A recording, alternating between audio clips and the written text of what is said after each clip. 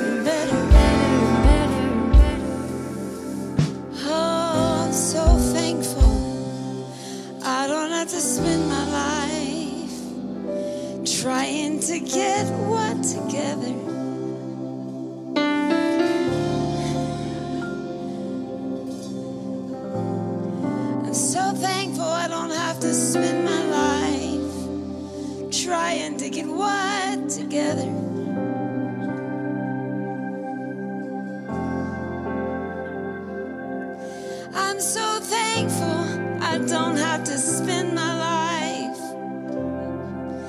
trying to get what together.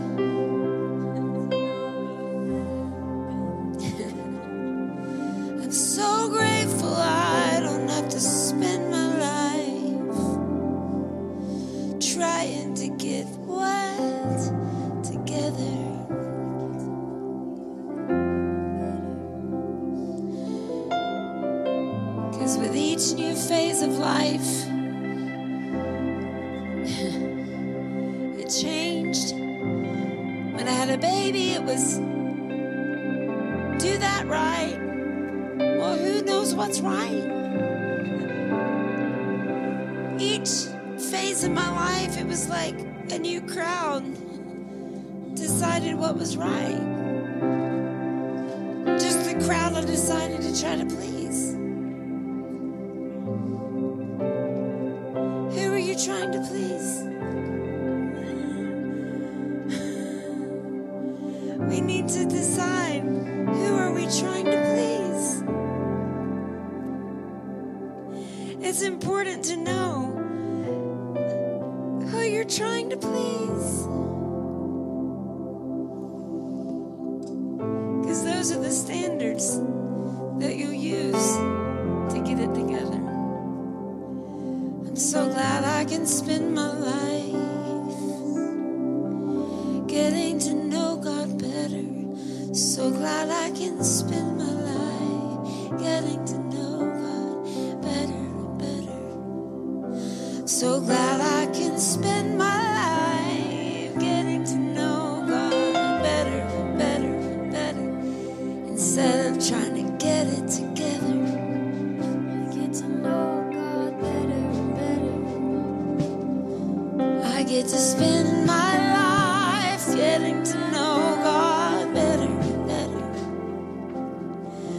I get to spend my life getting to know God better better. I get to spend my life getting to know God better better better. Instead of trying to get it all together.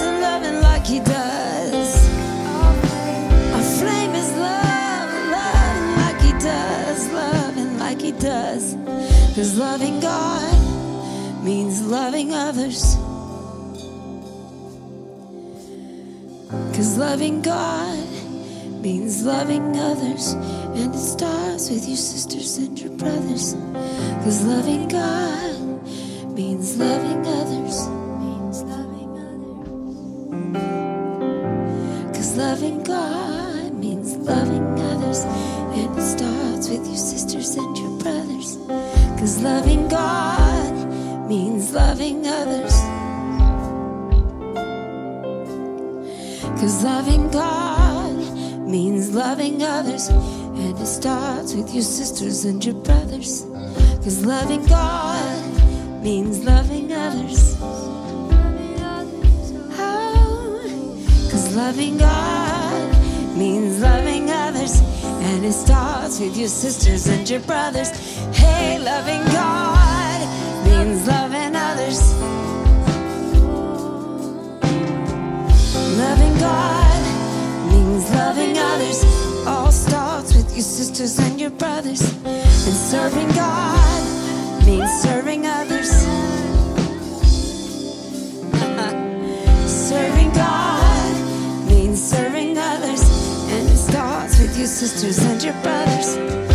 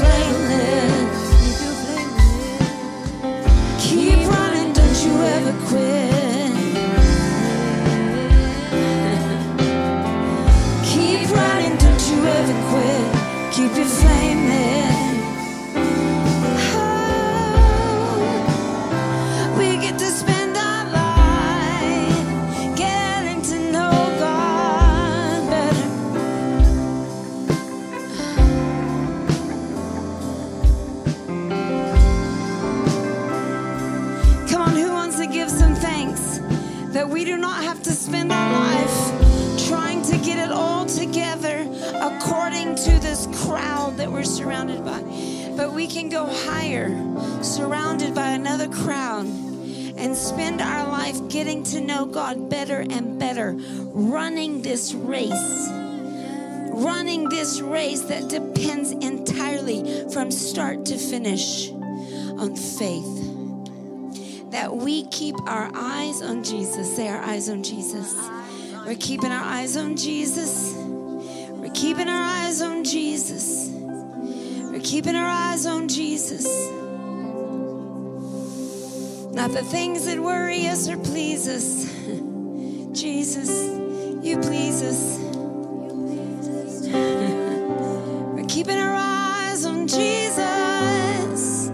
Not the things of earth that worry or please us.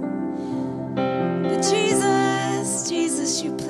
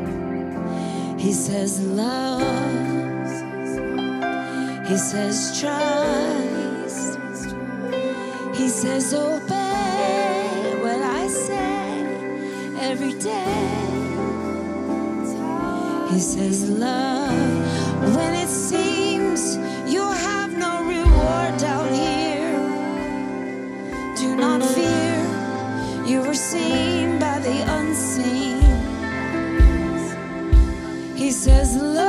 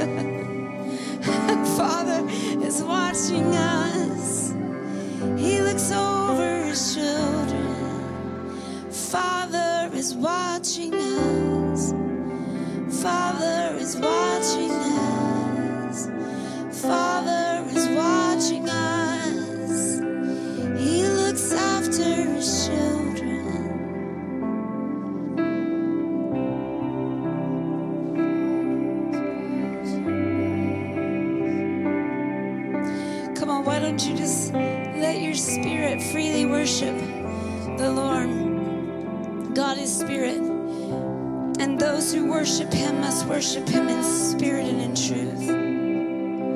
If your minds had most of you today, let your spirit free to worship.